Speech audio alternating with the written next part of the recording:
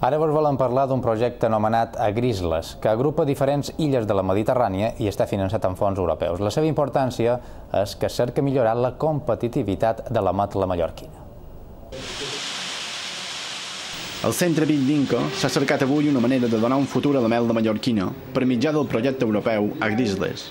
La poca competitivitat del producte fora de les Illes Balears fa que la creació d'una denominació d'origen sigui una necessitat. El que passa que la denominació d'origen ve després de fer la marca de qualitat. Una primera passa és definir el que seria una marca de qualitat. Quan tens la marca de qualitat ben definida pots passar a la denominació d'origen. No pots entrar directament a una denominació d'origen sense tenir un passos previs. Podria ser factible però han de passar un, uns anys. No, no no, no és una cosa a molt curt termini, és una cosa que, que primer s'ha de fer la marca de qualitat, si la marca de qualitat eh, ben que dir, són coses que acaben per seu propi pes, ben que dir, no són coses, diríem, que quan tens la marca de qualitat si interessa i és viable i és, i és rendible econòmicament, la dominació d'origen ve automàticament després.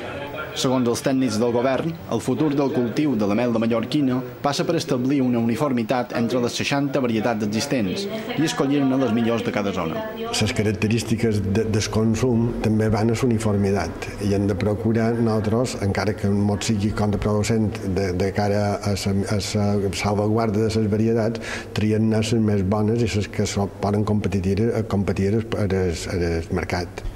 Amb tot, la primera passa a fer és consensuar una proposta entre l'administració i els productors i comercialitzadors balears per elaborar un document comú que després es presentarà al Parlament Europeu.